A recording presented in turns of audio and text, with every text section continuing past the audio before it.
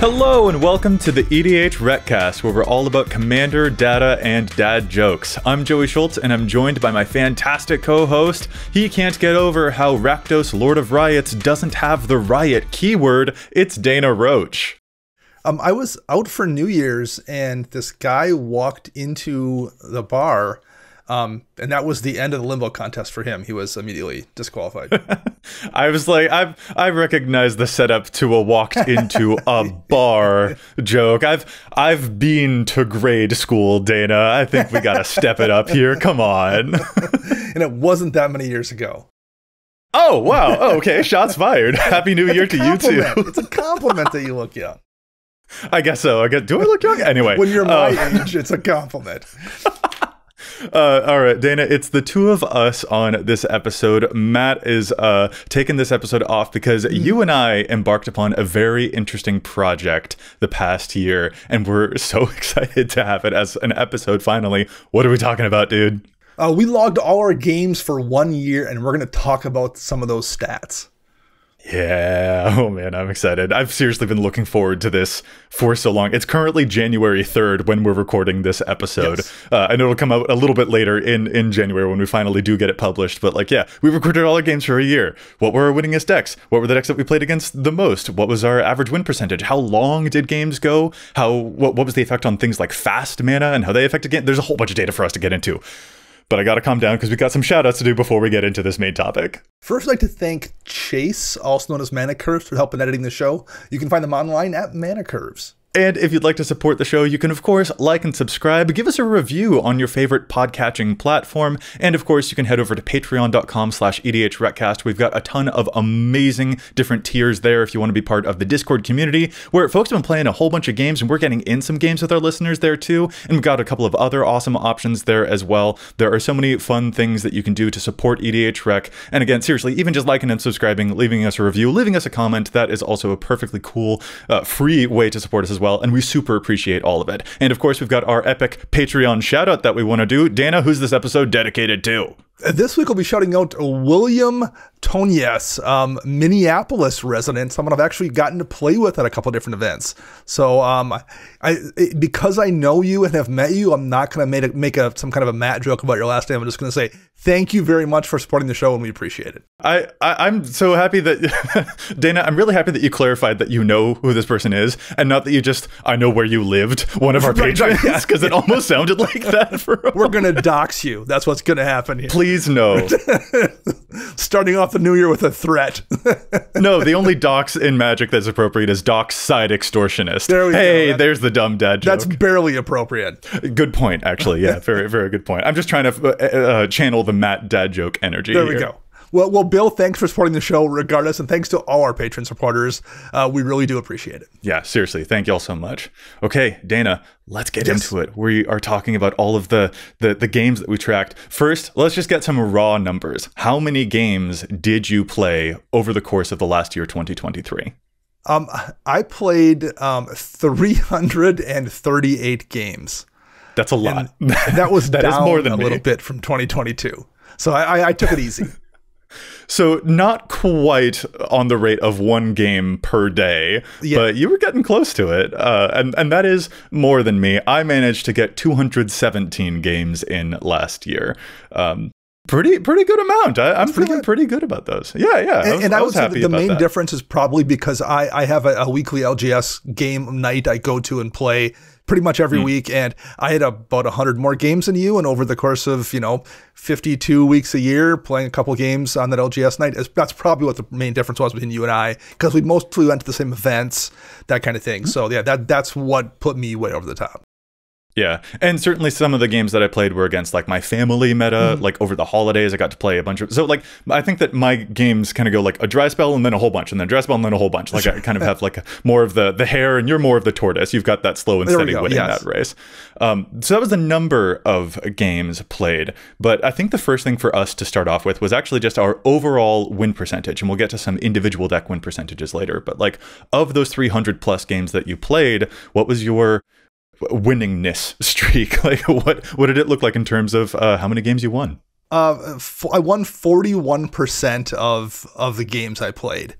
Um, and uh, I didn't break mm. down how many were like three player versus four player games, but mm. I, yeah. top of my head, 96% of them, 97% of them were four player games. There's a couple threes in there, but not very many. Okay, so Dana, that's a lot. Uh, I just want to say 41%. Yes. That's big. I, I think that's a thing that we might need to unpack a little bit. Um, m- my overall win percentage of the 217 games that I played, I lost 144 of them, which means I won 73 of them, aka my overall win percentage was 33.6%. Um, so if we're assuming that the average expected win rate in a four player game is going to be that 25%, we're certainly both over that mark. Um, I feel like, oh, okay, you know, 33%. I feel pretty, pretty good with that, and also not worried that, like, oh, I crushed some people or whatever, if that makes sense. Sure. Um, so like hearing yours is at 41. I'm not gonna lie. Uh, if I had a, a win percentage that was like approaching 50%, for example, I'd be like, "Ooh, okay, am I punching too hard?" Uh, so maybe let's talk about like that I sure, guess. Sure, like, how do certainly. you feel about your number? Uh, yeah. So, so this is a thing I've been thinking about a lot this year. Not even in relationship to this, just in relationship to like rule zero conversations and mm. that kind of stuff. And when we've talked, um, you know, including Matt over the course of the last several years, we've done things like take tutors out of our decks, right? Uh, maybe stop running a few things like Cyclonic Rift or you know, Rhystic Studies not going in in every deck. Although it's one of those cards that like every deck's probably better running it. Mm. Um, so so we've maybe destapled our decks a little bit and and powered them down in that regard. Um, so thinking about this and and various rule zero conversations, uh, one of the things that uh, I've kind of come to the conclusion about regarding power level of decks. Um, I think there's kind of two different kinds of power you can you can ascribe to a deck. Uh, in in myself, I, I, call those hard power and soft power. Hmm. Um, hard power are the things that are just strictly strong in almost any circumstance. Uh, a deck is probably better with a demonic tutor. Um, a deck is probably better with a mana crypt, fast mana tutors, bombs like a Rhystic Study, like we mentioned, is just a great card in every deck. You know, a two card combo that just wins the game. Something like Thassa's Oracle, whatever demonic consultation or whatever you use to get into that combo. Those are things that are just what I call hard power. Um, and those are the things I tend to not run in my decks. Um, but I think there's something that I, have been referring to as soft power. And I think that's kind of the power between the power, maybe is how I would describe it. Hmm. Um, like the little things in your deck that aren't readily apparent to somebody. You know, you're playing winged words in a deck that has a flying commander, and your opponent, who also has a flying commander, is playing divination. Um, so, like, you are saving a mana very regularly over your opponent who is not, because divination's just always going to cost three to draw two. I'm regularly going to pay two to draw those same two cards. I have a lot of soft power, I think, in my decks. And I think that is the pri- one of the primary differences in why I win games. Um, I, I, think pub stomping is a result almost always of hard power. Hmm. And I think soft power is just a thing that happens when you play 331 games a year and then record another, you know, 50 some hours of podcasting and write articles and do all of those things it's kind of that the Malcolm, Malcolm Gladwell thing where if you put 10,000 hours into a thing. Sure. Yeah. Yeah. Yeah. And, and that kind of has been debunked a little bit, but like the, anyone who's ever played pool against a friend whose parents had a pool table. okay. I, can tell you there's a difference.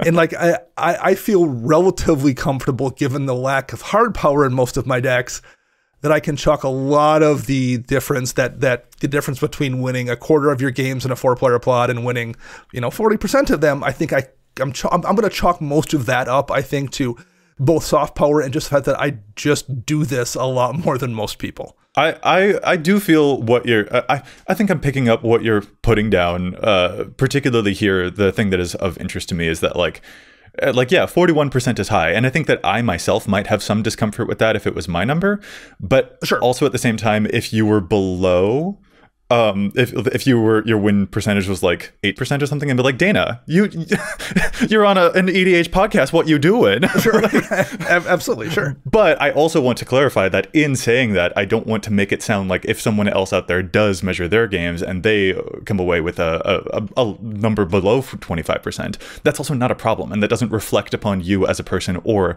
as a player. Because especially early on, when I was uh, tracking my games. I got like 80 games in or whatever. Um, and I was just like, huh, I've won like 15% of my game so far. And then it had a major swing up by the end of the year. Uh, like it, it really does take a lot, and I mean a lot, a lot of games, a huge sample size for any of those numbers to not wildly, rapidly swing yeah. one thing to a completely different number. And so it really becomes a thing about like you, this should be something that you measure growth over time as opposed to measuring like just a, a smaller sample size or anything like that. And losing games is also super cool if the games were fun. Absolutely. So like the win percentage numbers are an interesting thing for us to look at, but ultimately I also kind of don't care about them because what I care about is whether I had fun playing against you, whether I had fun playing my own deck, that kind of deal. So th- that's harder to quantify, but we got some raw numbers here and it's just an interesting thing for us to start off and yeah. and how we feel about it. But yeah. Yeah, uh, um, and and I've walked away like I didn't measure game speed either, um, and I'm actually going to track that next year. I'm probably going to wind up using your spreadsheet, Joey, that hey. uh, I, I, believe might be publicly available. Um, we haven't figured out the mechanism for that yet, but soon. Yeah, yeah, yeah, yeah. And that that was one thing. Um, yeah, measuring game length was I gotta admit, it was it, it was a process. Uh, it, it, was a lot, um, and and we'll certainly get into those numbers. But first, we'll stay a little bit more personal because um, yep. we were just talking about win percentage, how many games we played. Uh, let's establish the decks that we played, though, before we get sure. to any of the other stuff, like what was the effect of did the first player going first win a lot more, or how long were games, and fast mana, did that make any difference? Let's actually start off with a couple of more individual statistics. Uh, which decks did you play the most this year, Dana? Um, so the decks I played the most, um, the, the the the top two were Ich Tekik, um, Salvage Splicer, and Malcolm, and which is a partner pair, and then Jaheira, um, and Agent of the Iron Throne, which is a commander with a background. Mm. Um, and I wound up playing Ich Tekik um, about 30, it was like 36 times, and I played Jaheira, Agent of the Iron Throne 32 times. So in the 30 ish range for, for both of those decks. And I would wager the reason those saw the most play was because I built them both towards the end of 2022. So uh, I had a full year to play them. Some of my other decks I played a lot. I probably next year probably will be higher because it's a new deck. You want to play it more, but I didn't have them for a full year. I was just going to say, yeah, that new deck energy. So those two had new deck energy and a full 365 days worth of uh, of time to actually play them. So I'm fairly certain those are decks that were built, you know, October, November ish of, of 2022. Totally not surprised that I played them the most. And after those top two that had more than 30 plays, we're looking at um, Glissa Sunslayer that was originally Glissa the Traitor, and I changed the commander out right after it came out and made a few small changes to the deck. But it, I wanted to get some reps with that because the deck changed. So that had 26 games. Um, the Eternal, also relatively new deck, had 26 reps. And Agnes the Dragon's Lash, a brand new deck. Um, Jund Commander, but I built it mono red, that had 26 games as well. So it was almost all rounding out the top five commanders that were just decks that were new that I just wanted to get reps in with. So those were the, the five I played the most often. What were your your most frequently played decks last year? Uh, predictably, my top Blade Commander was Baba Lysaga, uh, my absolute darling. I love her. Uh, I played 35 games with her. Um, the next most popular one was my Commander Commander deck with Tana and Tymna, uh, which surprised me that that one became one of my most played. I played 27 games with it, um, and that is the deck where, I, honestly, like I played it the most at events. Like whenever I would start explaining, and you know, here's my deck where every card in the deck has to say the word Commander on it. People are like, I gotta see that. like it kind of had that energy to it. So I was surprised how much I played it, but it was a, a really enjoyable time. Um, a silly theme, but the deck do slap. Um, and then my next most played, and this one also surprised me, was my Barakos and Folk Hero deck, which I played 21 games with. Uh, I am shocked at how much I've fallen in love with this deck, but I really just have fallen hard for it because it has a little bit of that same Baba Lysaga style to it, where every single turn feels like a puzzle. I'm trying to balance out how do I get the appropriate types to trigger Baba Lysaga to trigger the party mechanic on Barakos. And so the fact that not just every game feels different, different, but also every single turn feels super different, really drove me to play a whole lot of those. And I had so much fun playing them this year. So those were my top three. Uh, of those top three, which had the best win percentage? Ah, uh, so now we're getting into some win percentagey things, are we? Uh, I, am just I'm kind of curious to see like how much, if, if there was any correlation between uh, uh, the the popularity of a deck and how often you grabbed it and how often it won. Um, of those specific three, interestingly, uh, Barakos actually had the highest win percentage. It won 38% of the 21 games that it played. Um, but the other two were not far behind. Baba Lysaga won 34% of its games, and Tana and Tymna won a clean third of the games that it played. Uh, so 33% win condition. So all of them uh, sitting above that average. I do think that like there's probably a correlation to, yeah, I played these a lot, so I got a lot of reps in with them. Sure. I will say, though, they're certainly not my winningest decks of the year uh, by... Okay, all right. Not by by a long shot, but we'll get to that in a minute because those are the decks that we played the most. What decks didn't you play this year? Th- that is a real thing. Like for me, honestly, one of the reasons that I wanted to do this episode, uh, to do this data tracking, is to be like, all right, which decks have I not actually touched, and is that a sign that I should take them apart potentially? Uh, so like, yeah. So, I have one deck that I own that I played zero times last year, um, hmm. and, that's Edric Spymaster of Trest. Um, sure, but I think that's that's not new. I don't know if I played it in 2022 or 2021 or even 2020. I believe the last time that deck actually saw an actual game of Commander was at a Vegas event. I want to say 2019. Um, mm. So it, it's a deck that I only really play if I'm playing like if people want to play something CEDH ish, and it's not a CEDH deck, but it's the one that probably would embarrass me the least at a CEDH table. Um, and because I just don't play at that power level, I don't play the deck. So I keep it around and I keep it updated just in case I ever need to use it. But I clearly haven't needed to use it for the last four years. oh, yeah. So is there a reason that you still have it then? Is it really just a just in case kind of just, button? Just in case, like... and like the cards aren't being into. I have no other decks that are demanding a copy of Scryb Sprites or anything like that. the way that deck is kind of built, okay. nothing else really wants any of those cards. So it's it doesn't really feel bad having it sit there unused for years at a time. Gotcha, gotcha. So I'll, I'll to reflect on my uh, decks that are the least played. I have a deck that is not the most least played, but I didn't play it a whole lot, and that is my Titania deck. Um, I played only three games with her uh, this year. And Dana, it is actually for very similar reasons to your Edric story, and that's why I'm going to bring it up first here, because um, Titania actually is my winningest deck of the year the, the sample size is so teensy. Three games is only three games. That is the teensiest of teensy, but it didn't lose a single one of them. Titania has a 100% undefeated win percentage here, which feels pretty cool. But it's also a thing that I knew about that deck sure, already. Sure. I'm like, I'm pretty confident that this is my probably my strongest deck. It, it isn't the one that feels like it's doing the grossest stuff. That's probably Conrad. But Titania has fully been able to end a game on like turn six just with the number of land ridiculous elemental stuff that you can do. Mm-hmm. But that is like I'm aware of the fact that I should only bring Titania out when people are like, okay, let's go, you know, pedal to the metal. Sure. Um, so that's why I didn't play her very often, but I'm not inclined to take her apart anytime soon.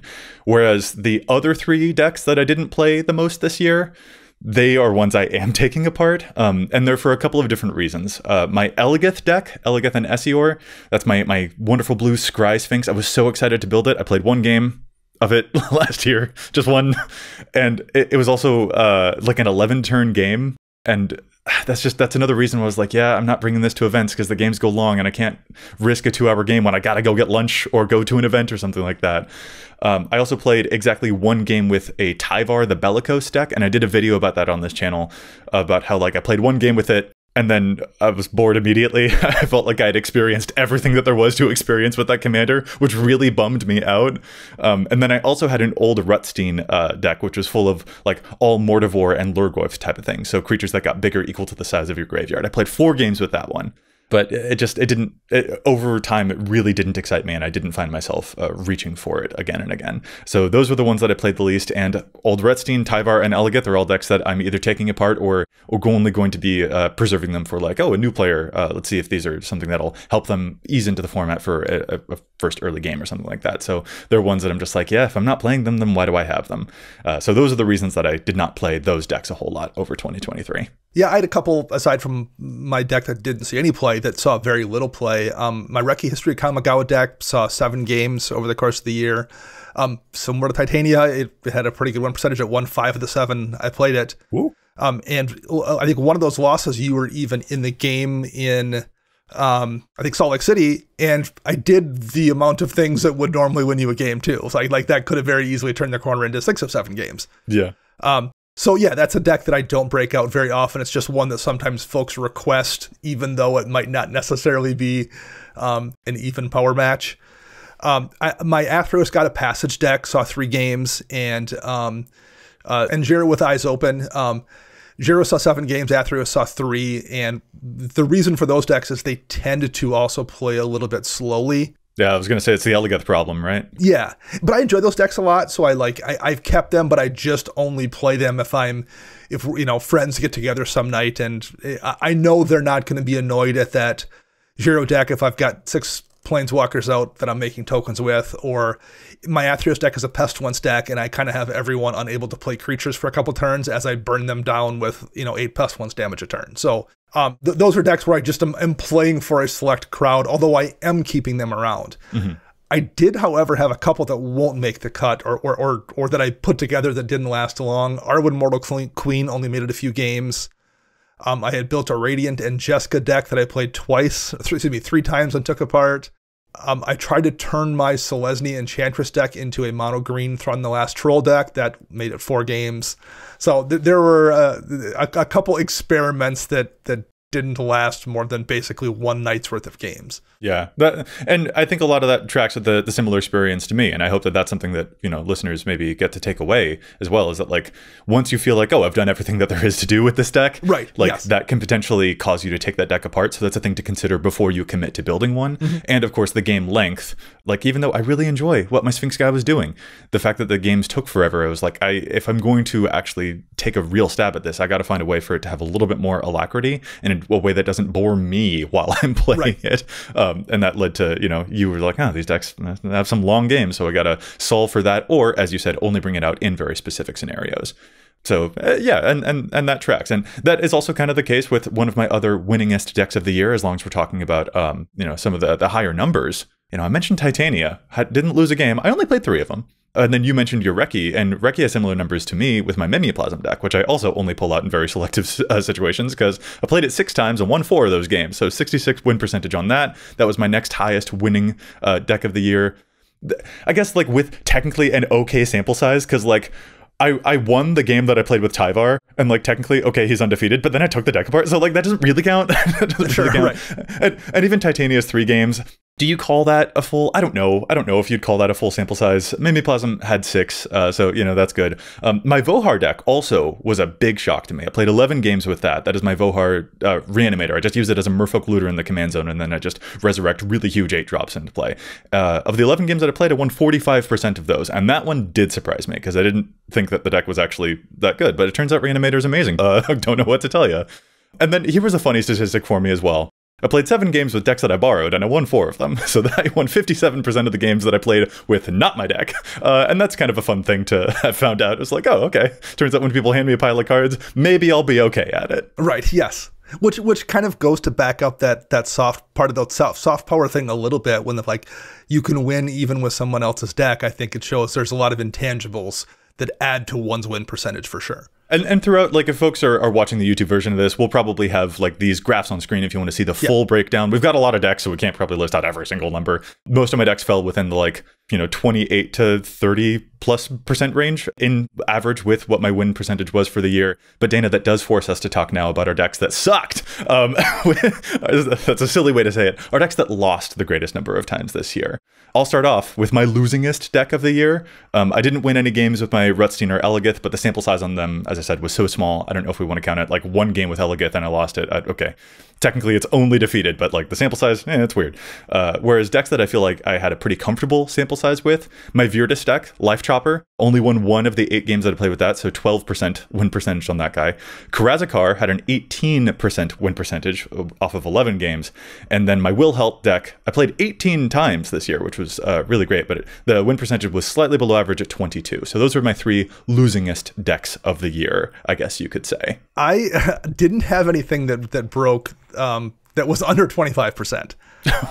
well, um, bully for you then, Dana. yeah. Um, uh, uh, Glissa Herald of Predation, which was the the fourth Glissa deck, the one that makes the incubate tokens. 12 games, I won four of them. And my Silumgar, the Drifting Death deck, so so that would be um, Dimir Dragons, 29%. So I played that 21 games. I think that's a pretty decent sample size, all things considered. Ooh, yeah. In, in that 129. So, so those were the ones that performed the least, but they were also really fun games to play. I like I enjoy both those decks a lot, so I'm perfectly content with those win percentages. And th- those are also decks. I think it's it's worth noting those decks won't get a lot of toys the amount of things that care about incubate tokens, I'm just not going to get very much. And because of how incubate tokens work, right. things that like even do populate won't, won't really work because those those creatures are zero zeros and they're only good because of the counters that come on them from incubate. So like that Glissa deck's probably not going to change a whole heck of a lot, and we just tend to not get black and blue dragons very much for Silumgar. So sure, yeah, um, I, I, don't see those decks changing a whole lot in in the the near future. Yeah, and to kind of go back to something that we said earlier, like, oh no, my Virtus deck only won one of the eight games that I played. It was a twelve point five percent win percentage on that one. I don't care. I love that deck. like, sure, yeah. I, I, think that there are some conclusions I can kind of draw from those.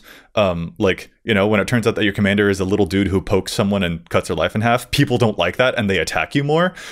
Surprise, surprise. Um, or Karazikar having an 18% win percentage there. Like, yeah, when I goad everyone's stuff and I'm trying to make sure that people have a lot of creatures in play, and then Go doesn't do a whole lot when it goes down to one on one, I'm not surprised to see that those things were near the you know at the bottom of that barrel. Um, but I don't I, I, don't care because I love playing them so much. So like their win percentage doesn't really matter to me so much as like did I enjoy playing them? And I absolutely did.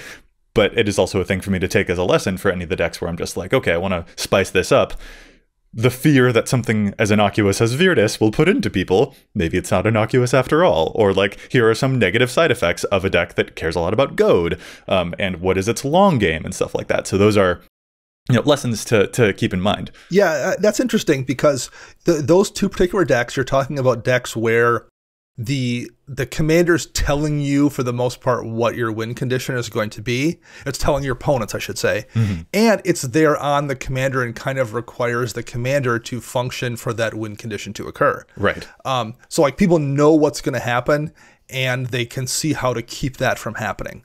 Um, versus the two of the decks that I that I played the most this year and, and both have had which pretty good win percentages. I mentioned Jaheira and um, Ich-Tekik.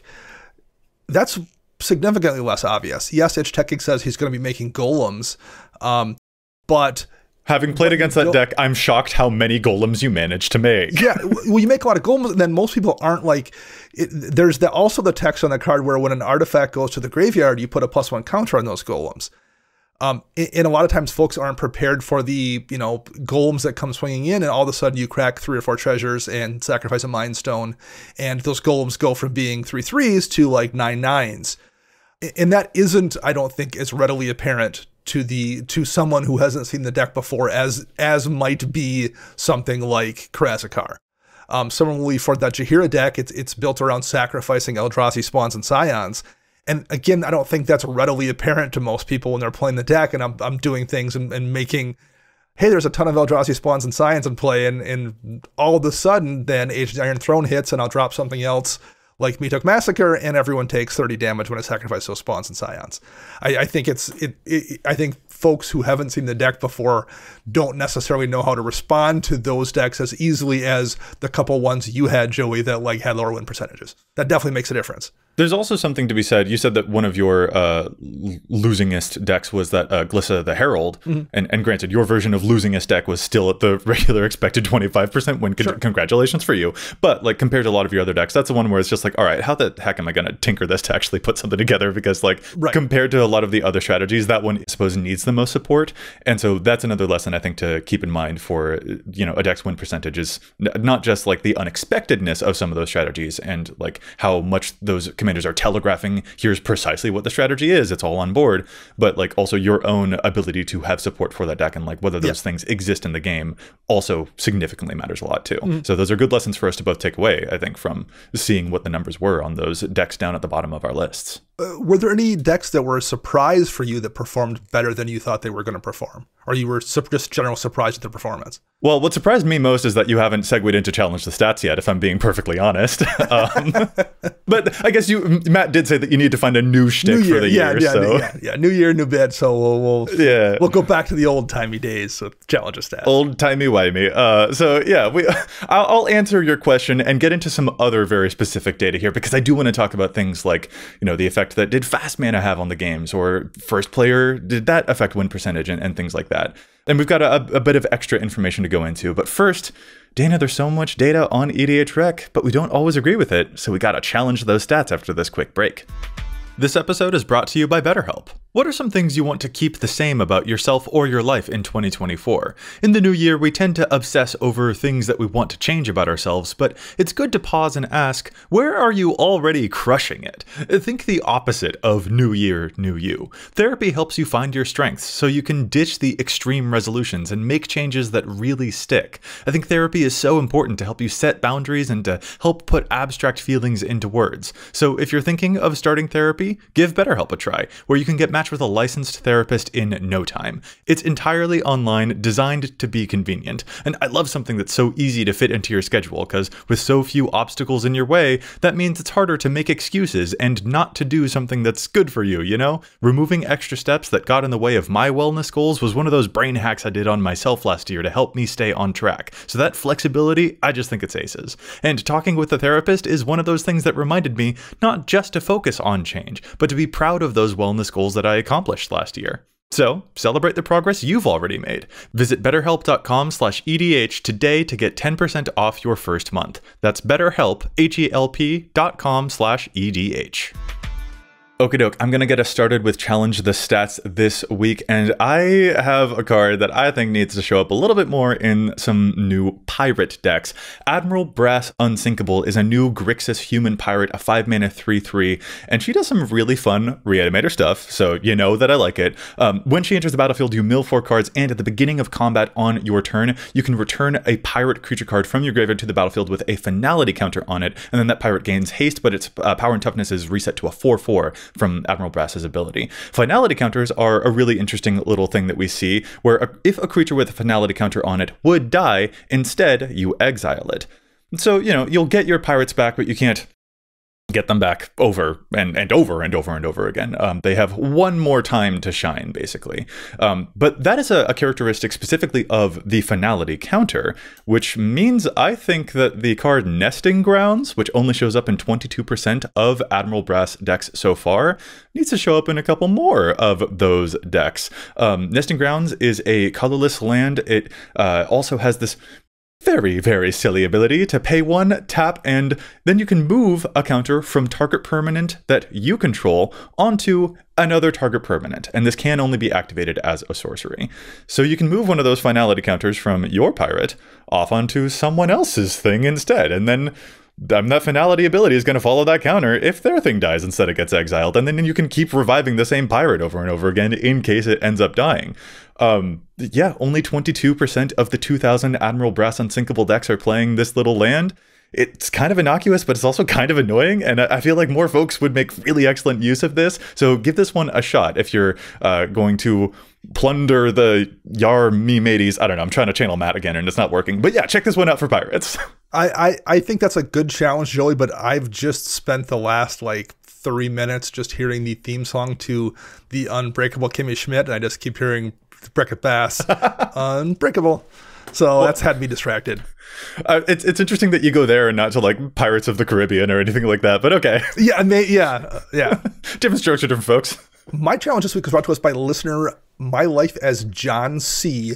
Um, and it is the card Liquimetal Torque being underplayed in Freyalise Llanowar's Fury decks.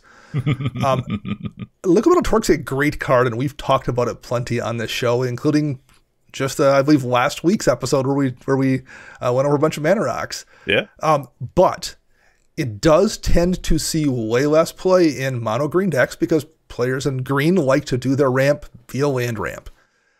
Liquimetal Torque in Freyalise, however, has a ton of synergy, um, particularly because the commander has a minus two ability that says destroy target artifact or enchantment.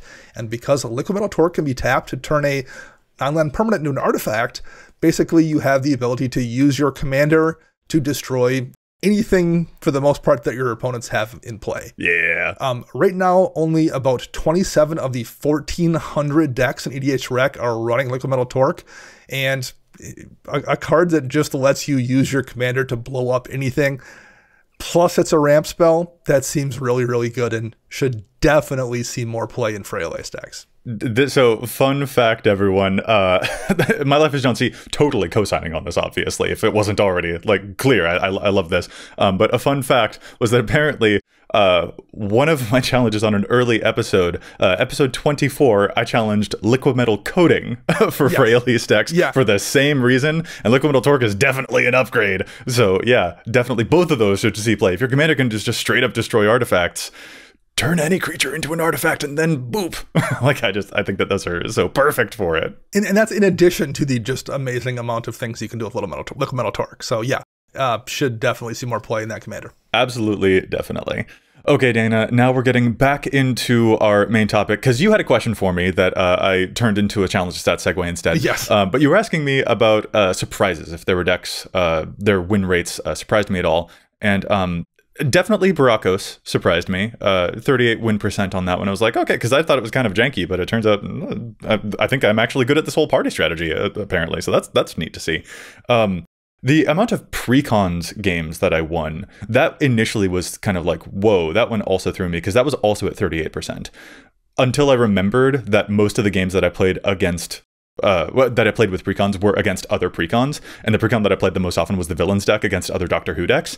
And um, let's just say that the, the balance of those decks was very in favor of the villains deck in my opinion uh, i think the deck was doing a lot more work there than necessarily i was um, but yeah th- those numbers certainly uh, felt kind of interesting um, and I guess if I had to label another, uh, my Commander Commander deck, that one surprised me too. Because uh, that's the one that has the biggest theme restriction. And as a result of that, the mana base is terrible by following that theme restriction. It's a, it's a four color deck playing 35 basic lands, and it only has like two color fixer or ramp cards in the, in the entire deck. But that deck was smack dab on my win percentage of the year. It won one third of its games. And, and also, we haven't gotten to the game length data yet, but the speed at which that deck could win a game also surprised me this year as well. And I think it's probably just important for me to remember that, you know, even if it does have a theme restriction, Tana and Tymna are still Tana and Tymna. Sure. Um, and, and I guess I also, uh, I'll mention that uh, my Conrad deck really took me for a ride this year too. Because um, for like the first nine months, it didn't win a single game the whole year. Because I think people see Conrad and they're like, all right, I'm going to make sure that guy can't do anything. And rightly so. But then without me even changing the deck all that much in the past, past uh, three months, at the very end of the year, it finally got a bunch of wins and it swung way up. The win percentage finally spiked up. So um, that deck was definitely a bit of a roller coaster this year. So definitely some surprises on my end with all of those. How about you? I would say the the one that surprised me most was my Dromoka the Eternal deck that wound up with my second highest win percentage, and it was at sixty percent huh. um, for a Selesnya Dragons deck. Okay, uh, that one definitely shocked me. Um, I, I would guess it's probably a, something that people just don't take seriously because it's a Selesnya Dragons deck.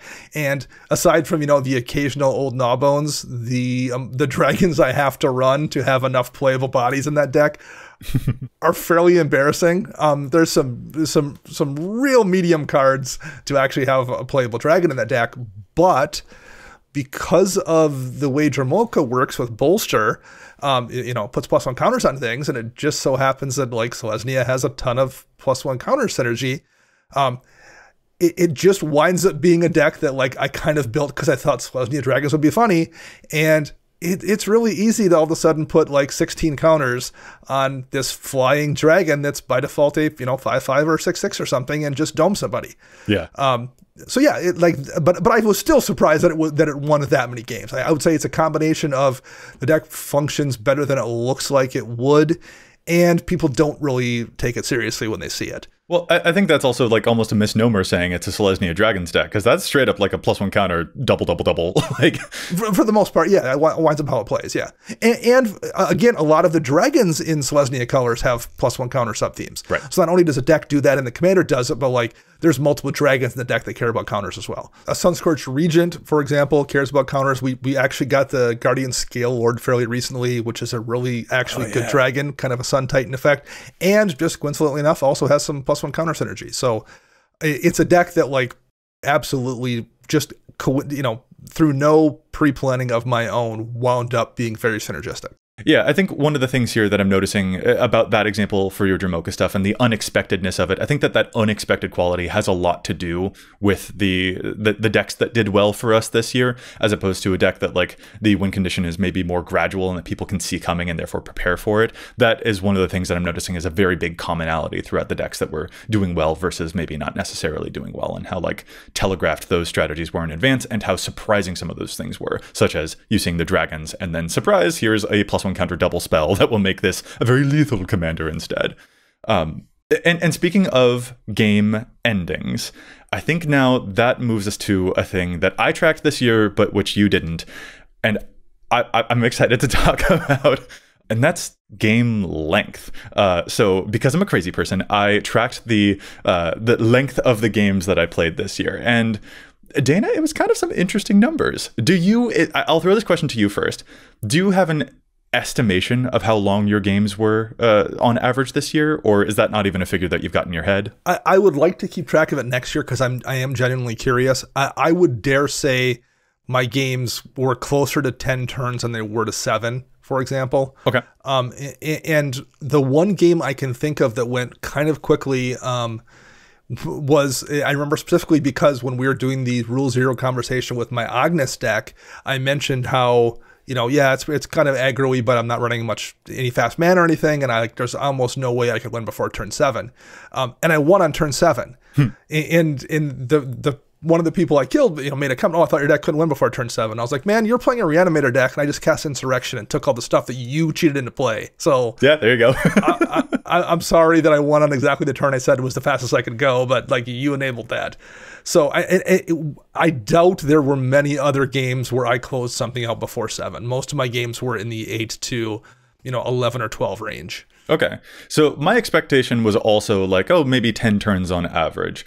Um, and going over uh, all, all, of these figures, the average game length wound up being 9.4 turns uh, for how long the game went. Note that I'm only tracking from the beginning of my own turns here. I'm not tracking from the beginning of each round. That can certainly bias the way that we want to read that data. If you want to sure. round it down to nine, that totally makes a lot of sense to me. But yeah, on average, games lasted about nine turns. Um, my longest game of the year was a 20 turn game against a Tasha deck that had a, a, lot to say about controlling the board. Um, and I did play about three games this year that were uh, five turns long, um, and they all ended in combos, of course. Uh, sure. Things that are going to make everyone die very, very quickly. Um, so yeah, the nine, I was like, all right, you know, 9.4. I'm, I'm feeling like interesting about that one. Um, but another figure that I started tracking a little bit later into the year, a couple of months into the year, um, was the average first KO and like how big was the gulf between when the first player gets knocked out and when the game ends? Because that's a thing that i'm distressed about. If i like have a deck that like oh yeah the game ends on turn 10 but I actually knock someone out on turn 6 and then they're just sitting there for half an hour that's the thing i feel pretty guilty about. Um, and so i don't want to represent a deck as like a 10 turn deck if it's actually like able to knock someone out on you know turn six or whatever. Um, but i wanted to see what is the gulf between like when someone gets knocked out and when the game actually ends. And the average first turn uh, the average first ko was turn 8.1 according to the data that i tracked. That was usually the first turn that one or more persons was knocked out of the game. Um, And in case people are interested, uh, there were 116 games that I played where the first death was on a different turn than when the game ended, which means that there were 101 games that I played where everyone died at exactly the same time.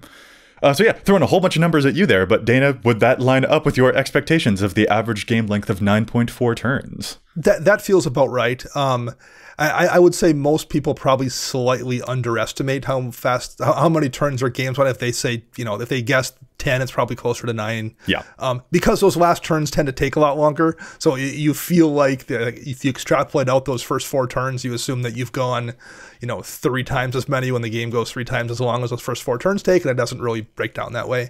So that sounds about right, and I would guess mine. If uh, next year when I track them, I would not be surprised to see something in the in a very similar range. Genuinely, Dana, I I because like I'm co-signing with your, your read there that like people might like estimate a certain number and it's actually faster than that if you're predicting there, I wouldn't be surprised if you end up in like an eight point whatever turns there.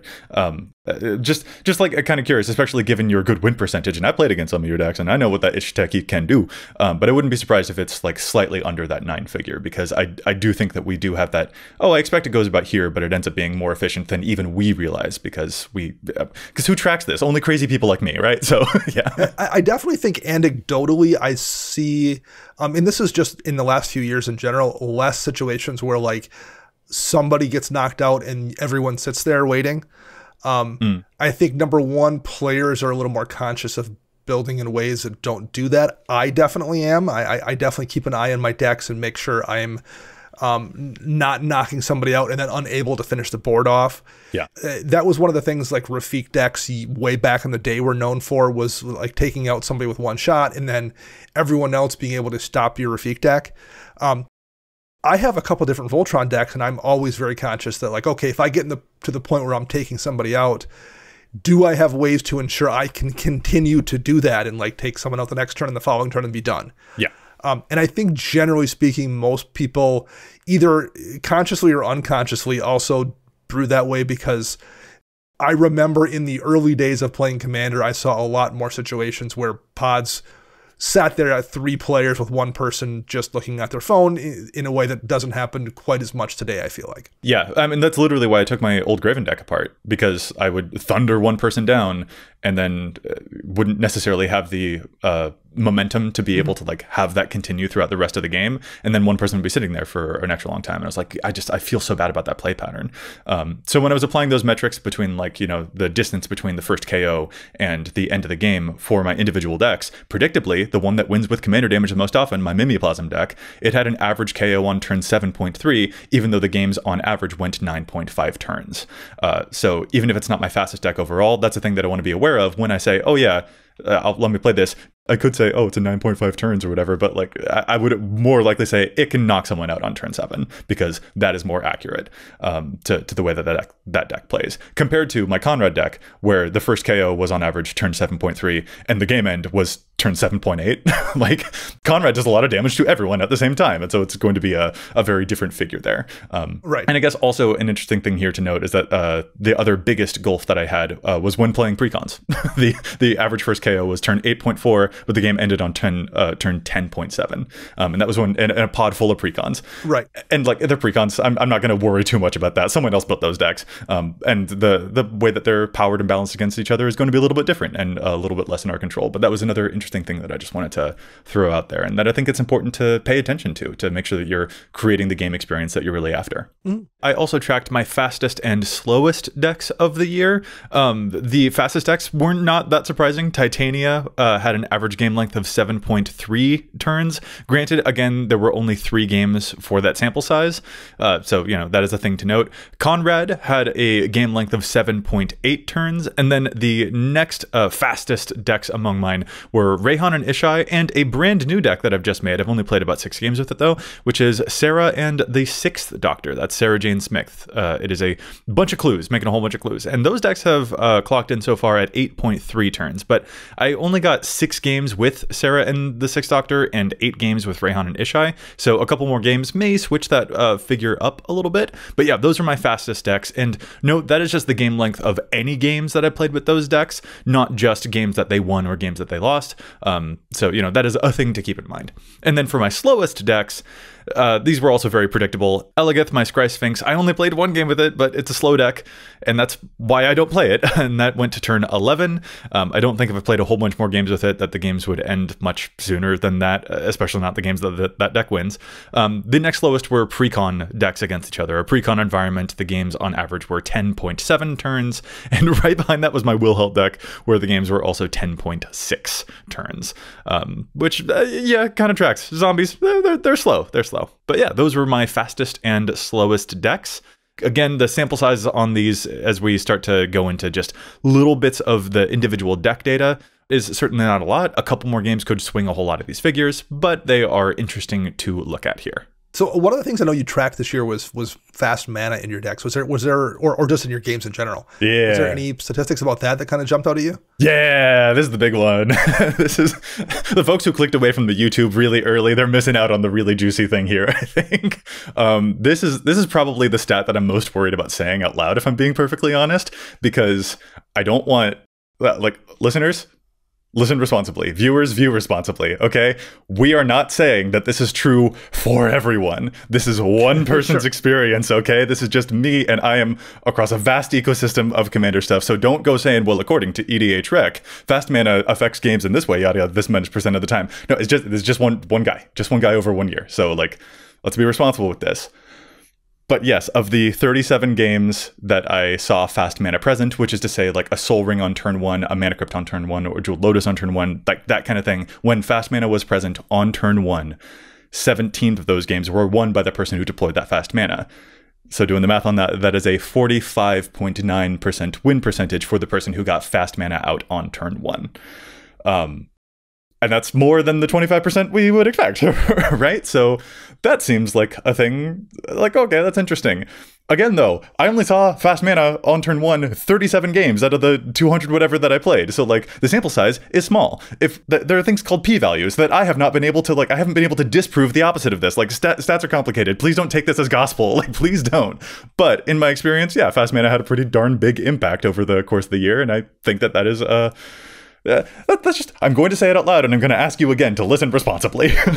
Yeah this is a, it's a, this is a data point that doesn't contain um, a, ho- a whole bunch of other data points that impact it. Yes yeah you know, like, was anyone else in those pods running fast mana? Like, if everyone is on an equal page and everyone has a crypt and a vault and something else and a jeweled lotus in their deck, then that's also going to like equalize those things. So, like, is this a matter of uh, to, to talk about hard power that I mentioned earlier? Is this a, mat- a situation where like hard power in, in this person had a bunch of fast mana options and and that is what helped them win? Or is this a situation where they just drew the one fast mana piece they had and they drew it at the perfect time and that happened to help them push push them over the top? Like there's so many variables here. Very much. And i, I think a common thing uh, throughout the the commander sphere out there, especially folks online, a, a, lot of folks may expect that maybe fast mana would like draw so much attention to you that it could even decrease your win percentage.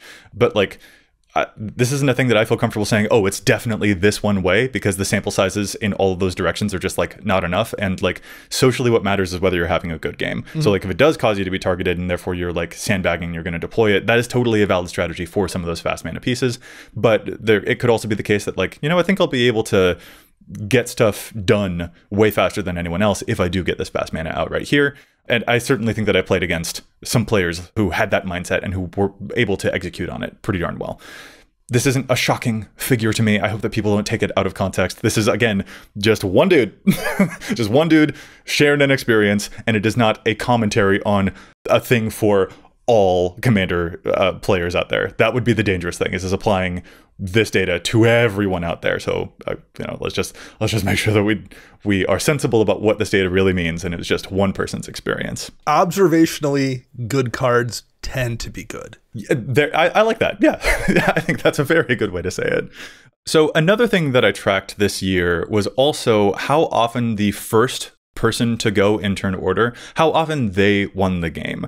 And this was something very interesting. Like when I was doing this project, a lot of the questions that I got from people when they saw me logging in my notebook or anything like that, they saw me updating my spreadsheet, or when I just like mentioned the project and they started asking questions. But a lot of people asked about how often does the first player win the game? Because I guess there was kind of this expectation that it would have a really big impact on a player's win percentage, um, that you would win above the average expected 25% of the time.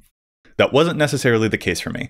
Of the 217 games that I played, 58 times out of those uh, times where the player was going first, they won that game. So that's to say that the person who went first won 26.7% of the time, which feels like right in the average to me. It doesn't feel like, oh, that's a notable, like, yeah, it's kind of just fitting uh, right there. So, you know, assuming that in a four player game, everyone has a 25% chance of winning, there wasn't a big impact to the player one wins. Um, I didn't track things like did the person who went last lose a lot because that was too much to track even for me. Um, but like, yeah, I just thought that that was also uh, a, a, thing to kind of note is that I didn't see a big difference depending on who went first, at least in the games that I happened to play. Yeah, I also would have assumed there would be some kind of a difference there. Um, but I would have assumed that just because I, I would have assumed that. I guess I've never I've never observed any kind of real advantage to going first there clearly is one, but like I wonder if that's one of those things where intangibly people just balance that out without even really like realizing they're doing it. Yeah, I, am not sure. I don't have a definitive thing here. I yeah. think that it's certainly going to be the case that like were we playing more competitively, this might be something that we can measure. Certainly, um, a bigger bigger impact.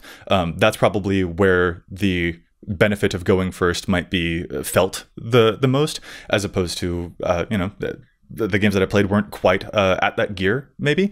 Um, so yeah, yeah but just in my experience, I didn't see it.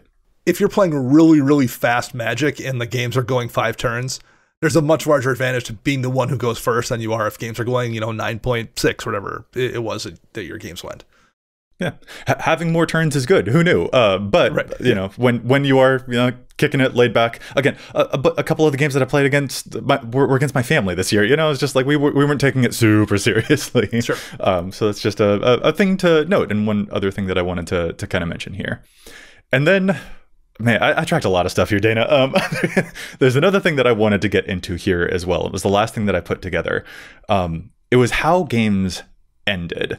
Uh, and this one, I'm also I, I think I think it's very fascinating. Um, like, did a game end from combat, from like you know a Craterhoof Behemoth, or did it win from a combo? You got your Exquisite Blood and Sanguine Bond Infinite combo, or things like that. Um, you know, was it a bunch of blood artists that that won a game? Uh, before I reveal my numbers, though, I guess I'm kind of curious if you have expectations for what the breakdown would be on like how many games ended from mill or infect or uh, blood artist pings or things like that, or uh, what do you think? I mean, so so I I can uh, based on myself, um, you know, of the games I won, very few if any were via combo. Um, I have some infect stuff, so occasionally I probably like worked out some infect.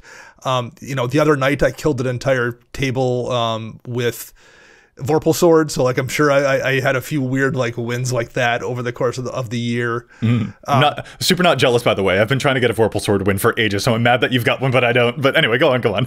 um, I, I, definitely lost a few games to combo, but like not an overwhelming amount. Um, you know, whenever I read like people complaining on Reddit about you know I went to this LGS and everyone was comboing out in turn four it's just not something I run into very frequently. Whether uh, I'm playing at a event or you know, if I'm sometimes traveling for work, I'll stop at an LGS. I just don't run into that much combo. I definitely lost to a few combo games, but it, it would it was a very small percentage of games I saw end. Yeah, honestly, same. Uh, I only saw 10 games end due to a combo uh, this year.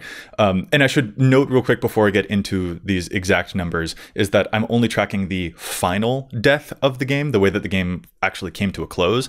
Um, so this doesn't represent all of the ways that players were knocked out, just the way that the last death happened in a game. So yeah, combo was only 10 times, although in that case, everyone would have uh, been ended at the same time because that tends to be how infinite combos go. Yeah. Um, but the most significant thing was definitely just a straight up combat effect of you know some a whole bunch of tokens or a big pump or something like that. 116 of the games that I played ended due to combat, so you know, pretty pretty high. And I think to me that informs a lot of like why I value things like Fogs because a whole bunch of games were ended due to just straight up combat steps. Uh, so that's why I'm putting even more emphasis on a lot of uh, prevent all combat damage effects in my decks lately. Um, and the next highest was from you know Blood Artist, Purphoros, those types of things that are dealing non-combat ways of making your opponents lose life. Uh, 66 games were won with those types of effects. And then the rest were all very, very low. Commander damage wins, won 14 total games of the 217 I played. I saw six alternate win condition effects here. Uh, one that I was particularly proud of was Strixhaven Stadium. Really enjoyed knocking people out with that one. I, I liked that a lot. Um, only four games saw Infect winning a game that way. Uh, and th- this was actually kind of interesting too, because there were some games that I played where, in fact, if it had just been regular damage, uh, it also still would have killed the person that right. it knocked out too. Um, there was one that was an infect win, but it was also a simultaneously a commander damage win at the same time. So I was like, where do I count this? I counted it as infect, but like, yeah, lower I think than I expected it to be was infect. And then the saddest one, the saddest one was mill the saddest one was Mill. I didn't see any games end due to Mill. Again, you know, I was only tracking, like, this is just seeing the final death of the game. I have seen some people get milled out this year, but not win that way, uh, win the entire game that way. So, Mill, I'm very sorry about it. I'm very, very sorry. But I didn't, I didn't see you win a game this year.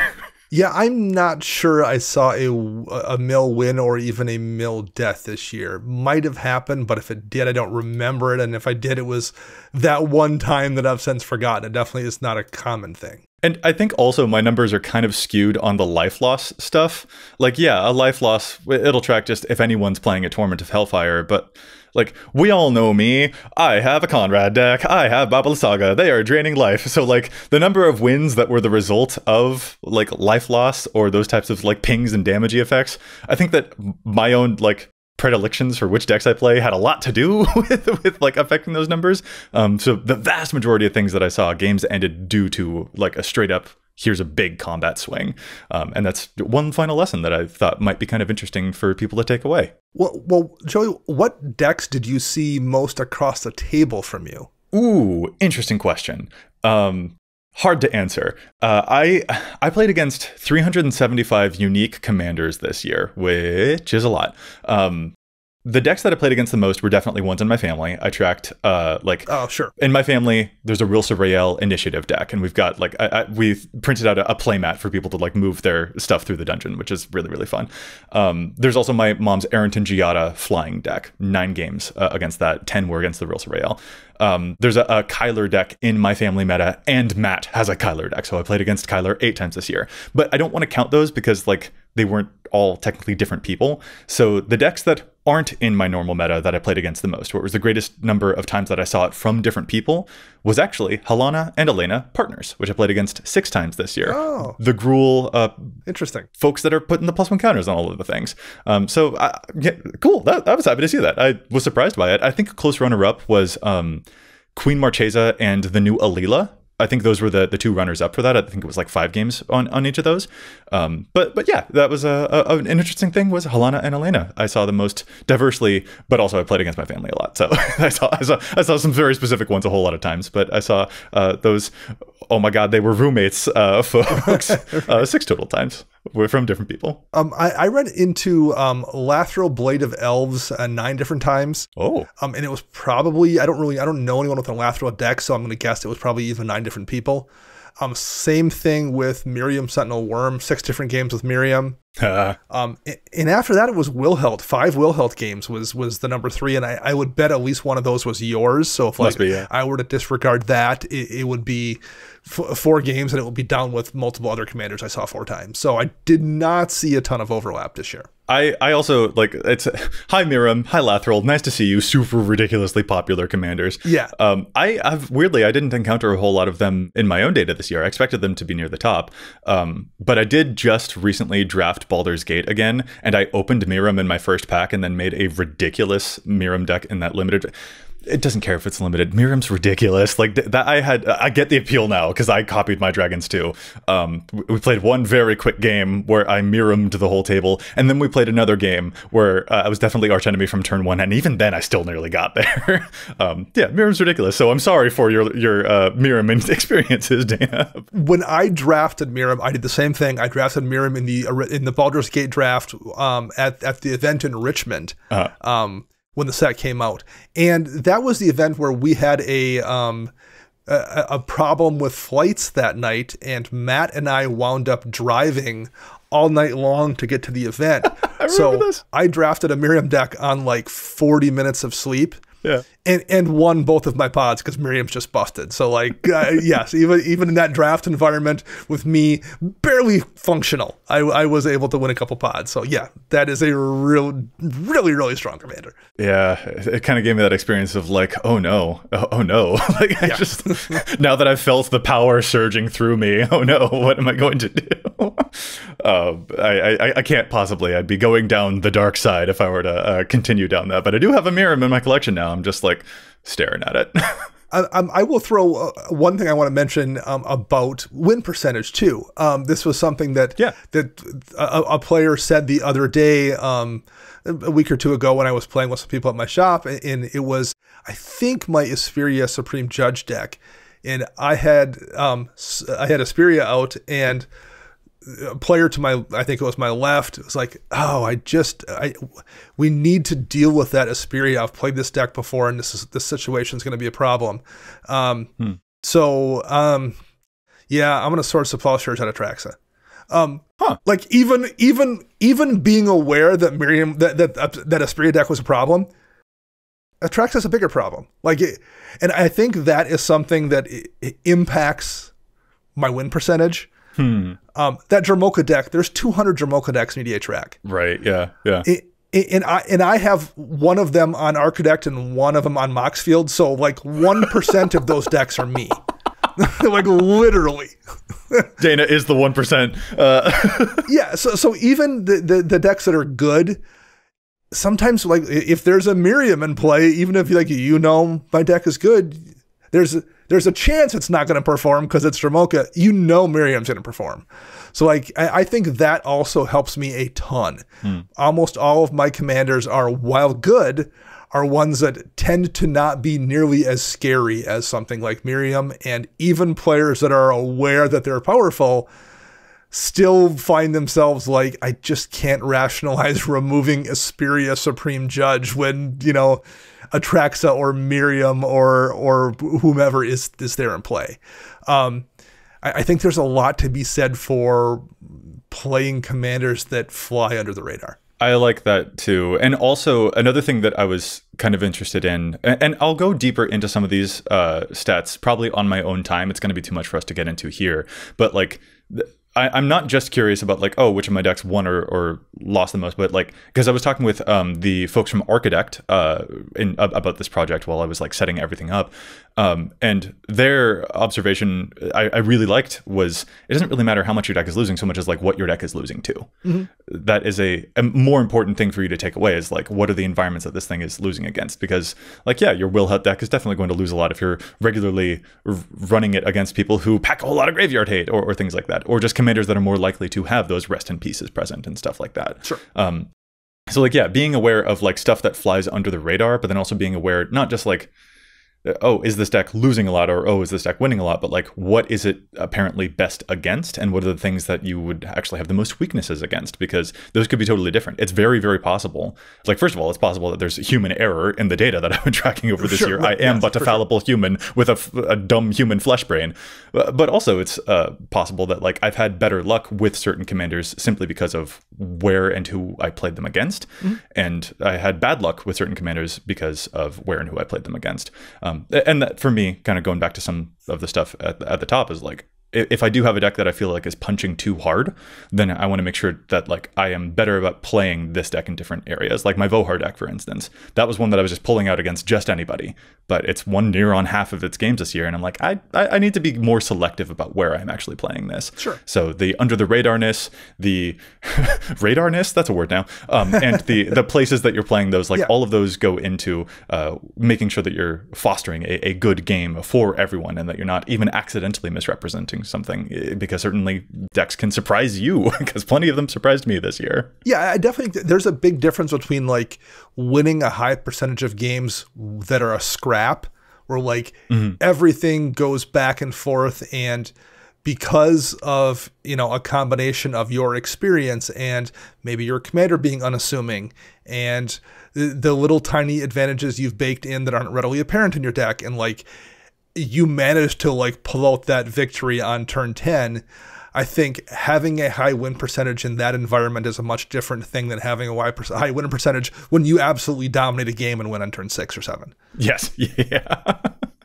yeah, that that's very much the case. Um, I'm a little bit worried now since I've said that, like, oh, a whole bunch of the games that I played this year were against my family. I, I expect folks to be like, oh, well, yeah, your win percentage is high because you're just like just crushing your family with stuff. No, no, it's not. Uh, honestly, the decks that I play against them are not. I don't play Conrad against my mom. I'm just not going to do that. And frankly, if I were to track her win percentage, I think it'd be huge. Like she wins a lot of her games.